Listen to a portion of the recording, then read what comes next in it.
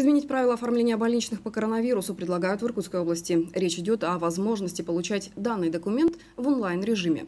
Соответствующей инициативой в Минздрав России планируют обратиться депутаты Законодательного собрания региона. Сейчас важно проработать все детали такого нововведения. Это обсудили на заседании депутатского штаба по предупреждению распространения COVID-19 в регионе.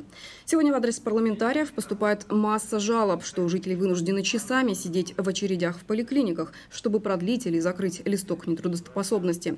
Решить эту проблему могло бы введение дистанционной работы с данным документом. И примеры подобной системы в регионе уже есть. Во время рабочей поездки в Братск это депутатам продемонстрировали в пятой городской больнице. Здесь при возможности больничный продлевают через врачебную комиссию без присутствия пациента. В связи с этим спикер парламента Александр Ведерников предложил создать рабочую группу, чтобы вместе с фондом соцстрахования областными ведомствами оформить предложение для Минздрава по дистанционному оформлению больничных. При этом сфера, где удаленный формат работы, наоборот, важно минимизировать, а лучше всего вообще не допускать, это школьное образование.